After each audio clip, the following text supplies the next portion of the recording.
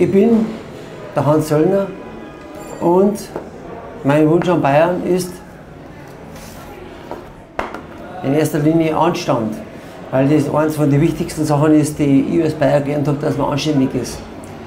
Das nächste ist Menschlichkeit, weil ich glaube, dass es in der heutigen Zeit sehr wichtig ist, dass Menschlichkeit wieder sehr hochgehoben wird und dass man im Zeitalter von Unmenschlichkeit und von Leuten oder Menschen, die zu Hunderten an der Adria ertrinken, verstehst wieder ein bisschen Menschlichkeit zeigt und Anteilnahme.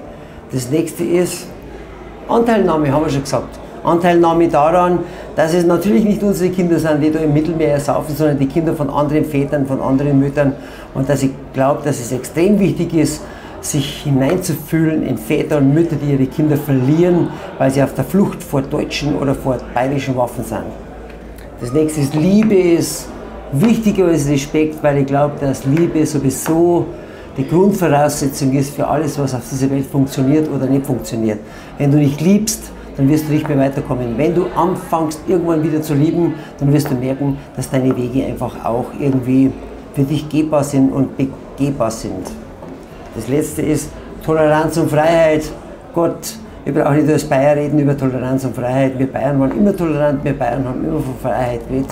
Und Freiheit ist für mich sowieso das Einzige, was wirklich artgerecht ist.